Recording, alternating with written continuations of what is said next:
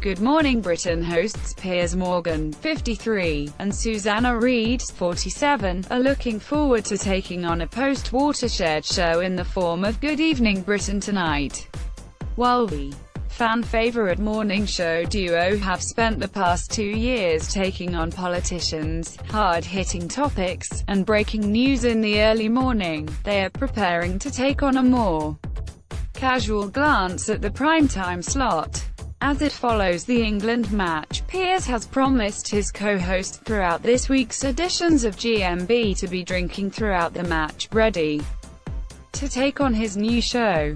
What's more, the hosts will be taking on a host of guests on the show, including Labour Party leader Jeremy Corbyn, Rebecca Vardy, and Danny Dyer. Danny will no doubt be grilled on Love Island and how he feels about the presence of his daughter in the show.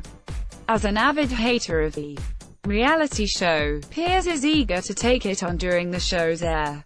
Speaking to TV Times, Piers discussed the show, and how he aims to improve viewers' evenings. He said, We'll be up against Love Island on the night and we're going to crush them. It's my solemn pledge that we'll restore intelligence during that hour. However Susanna, a Love Island fan, is maintaining her defense of the show, and is sad she'll miss out on tonight's episode. She commented, I love Love Island and it's going to be one of the only nights that I won't get to watch it. Despite the show rivalry, Piers is extremely excited to jump into a primetime slot.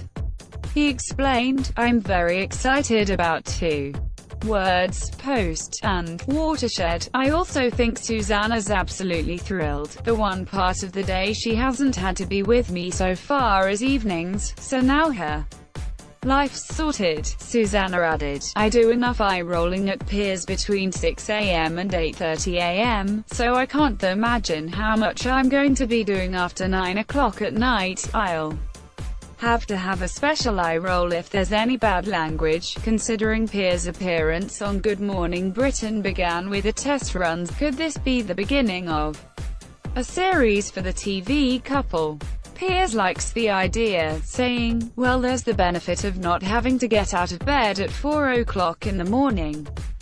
So that's definitely got to be in the back of our minds, but then people would miss me too much in the morning, Susanna said. I am interested to see what is like on telly after 9pm but I feel lucky I've only got an hour with him. When people recognize me, the main question they ask is, how on earth do you cope with Piers Morgan. Good Evening Britain airs tonight at 9.15pm on ITV while Good Morning Britain airs weekdays at 6am on ITV.